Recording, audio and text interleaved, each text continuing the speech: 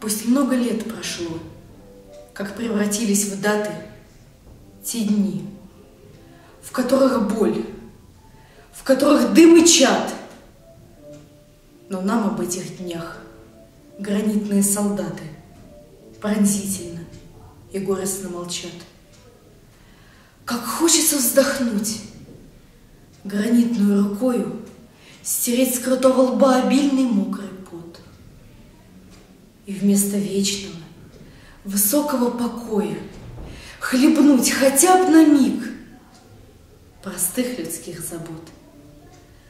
Как хочется сорвать и подарить невесте простой лесной цветок, что в ветерке звенит.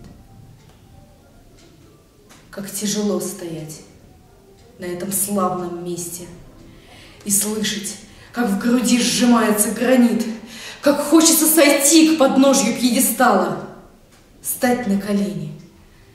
Мамочка, прости, заплакать ей в подол.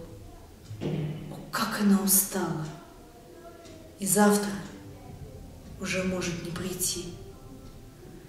Обнять ее за старенькие плечи и принесенные за все года цветы отдать ей. Мамочка, спаси меня от вечности, от неподвижности и немоты. Их нет, а мы живем. Взрослеет боль утраты. Мы шутим и поем. На это сто причин. А вот они молчат. Гранитные солдаты. Давайте-ка и мы немного помолчим.